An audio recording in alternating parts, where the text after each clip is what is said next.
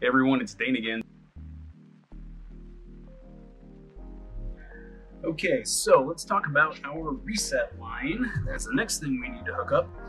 And uh, that is this line right here. So near as I can tell, because weirdly information is somewhat difficult, and I think it's harder uh, to find than it ought to be for this at this point. Uh, but this point right here, this via, should be reset out. Now that corresponds to the third pin up here. Uh, so you could technically hook up to that uh, or to this via. I like to keep things kind of close, so I'm gonna um, hook up here. We'll need to cut our trace here. In some of the installations I've seen, they cut this trace here as well, but I don't think that you actually have to for your line in. I think you can just hook your line right here. So yeah, let's go ahead and get our reset line ready.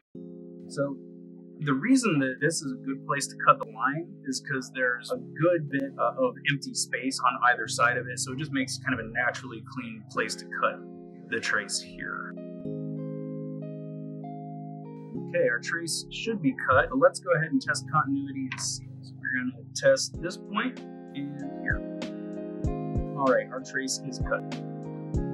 All right, so the next thing we're going to do is scrape away a little bit of the uh, mask that is solder. Yeah, just a little bit of this mask here that's at the end of this via. To make sure that the spot is easy to weld to. All right, there we go. And then we are going to tin this point. All right, now for this, I've set up blue and white wires. So we're going to do blue for out, white for in. All right, let's see if I can even get that down into that via. This might be a little too big for that. So uh, that's okay. There's other ways I can. All right, so what I'm gonna do is just sort of tin that via, of make my own contact point there. You see I've made a little blob right, right there where that via was. And that is what we're going to weld to my wire gauge was just a little too big to actually set that down inside there. And actually, what? I have a little too much wire for the size. Cut just a little bit off. There we go. Ring 10. Let's hook it up.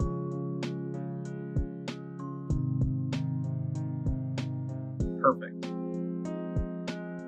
Alright, there we go. We are hooked in for our output. There are reset out, and we're going to pick up our reset in right here.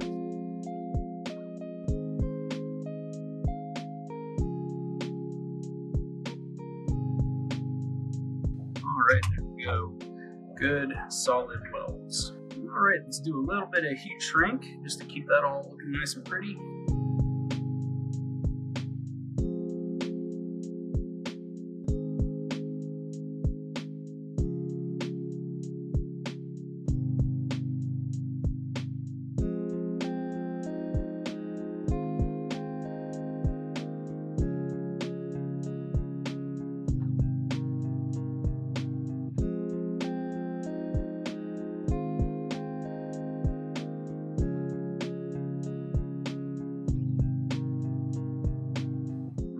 So I believe that blue was our out and white was our in. Double check. Yep, blue is out, white is in.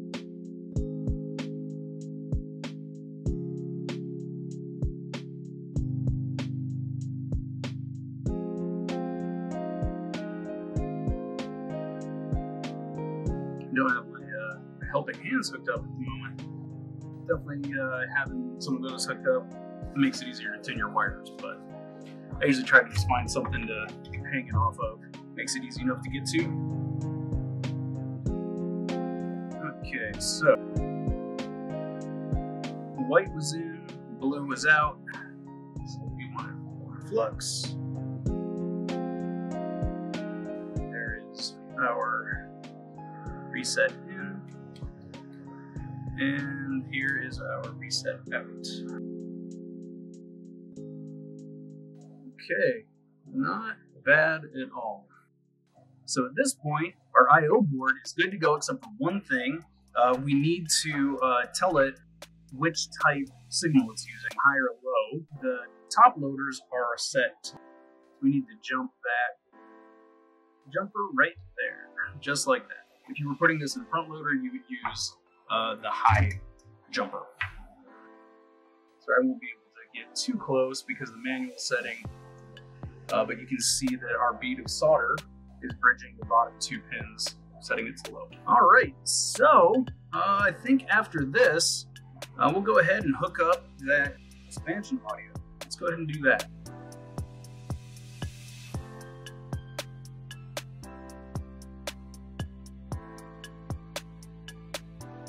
All right, that's kind of fanned out, so I'm gonna have to trim that a little bit to get that to go up into our via. Uh, I just want to shear it off at just a little bit of an angle. Run that up through. There we go. And so you can see that I'm running expansion audio wire up into that via. Actually, I'll just kind of stay put on its own. That's nice. Flux. There we go. Now it looks like at some point solder block got dripped on the board. Definitely need to make sure that isn't. Always got to keep an eye out for that sort of thing. It can ruin your whole project. Alright, so our expansion audio is now routed in. Uh, let's go ahead and hook up our CPU lines 1 and 2. Yellow was line 1.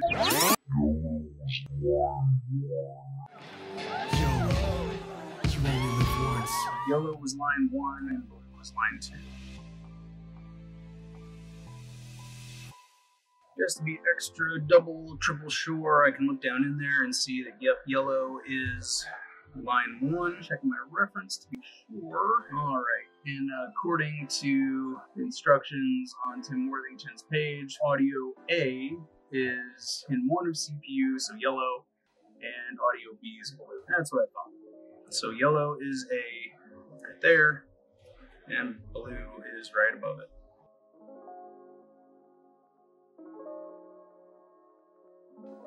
Well, that didn't stay put for me like at all.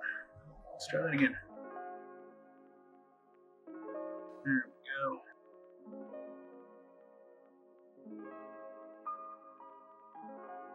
Okay, so we are now properly routed from our CPU for our pin 1 and pin 2 audio.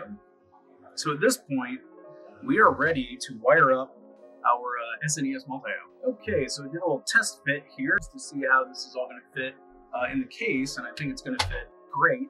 I clipped out that little piece of uh, metal inside there to allow the expansion audio to come up through. And uh, yeah, this is all looking really good. There's already a space under the power switch uh, for the rest of our uh, reset and controller line. So this is all sitting in here uh, really, really pretty good. So now we can go ahead and run our RGB lines to our SNES multi. So I think the way I'm going to route those is basically to come under the board and then around the slot. I think that'll might have to sort of come along under the side and then over and up. But I'm to just sort of set this down. Nothing wrong kind of testing your fit as you go. Make sure that everything's going to sit properly. Yeah, so it looks like as long as I sort of route things along the side here, should be good. So uh, we're doing regular composite video out which will be this one here. So I'll wait for that. So, all right, let's go ahead and start in on our RGB. Sometimes I just got to talk through it while I'm, you know, while I'm doing it. Let's hook up our C-Sync first, which I usually like to use as yellow. Same sort of deal. Don't have any particular reason why I usually do it that way. I just kind of do. it. But, you know, having your own consistent method can help you stay, uh, you know, kind of know what you're doing across multiple projects and that sort of thing. Nothing wrong with that. All right, there is our C-Sync line. Next up is red. We will do that with a red wire.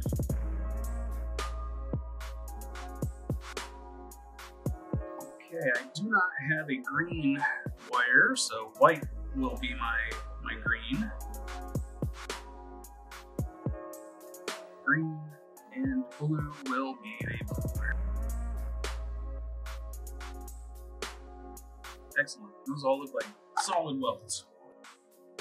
All right, and then I will be bundling these just because it makes it easy when I'm trying to uh, hook things up down at the uh, SNES multi-out. I'll have a better idea of what's going on. So let's use the green heat shrink tubing for our RGB.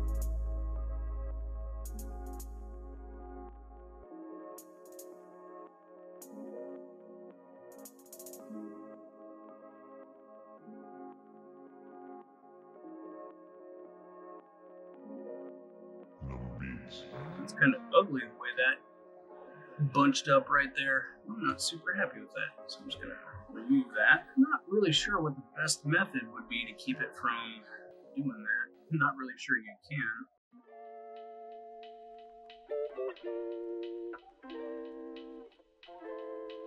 Oh, that's better anyway. That's fine. I want them to be able to flex a little bit and turn here. So that's all the closer I need to get anyway. Heat shrink.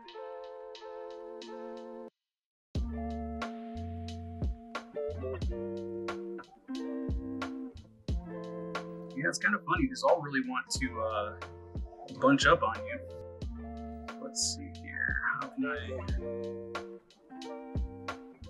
Okay, so it looks like I kind of need to go red, yellow on top, white, blue underneath.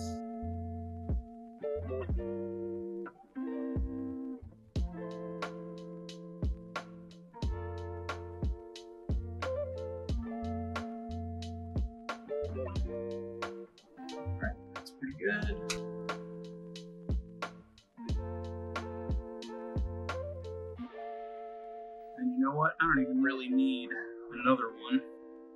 I think we're just to cut that off right about there. That should be plenty of wire.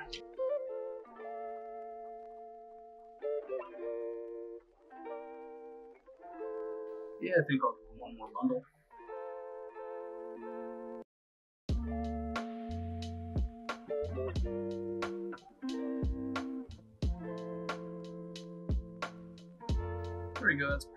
That's all pretty good even there. Alright, there is our RGB cable. Let's go ahead and strip that and tin it and get it ready. I'm also realizing I may have forgot conductor. I may need a 5 volt line running. So right now I don't have one hooked up and I might need to uh, go back and adjust uh, to make sure that that hooks up properly. Which is no big deal. Alright, let's tune these conductor.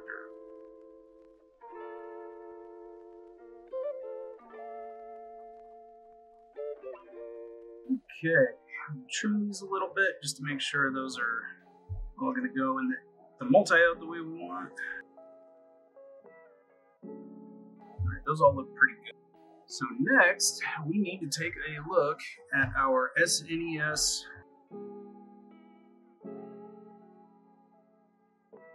Bye now.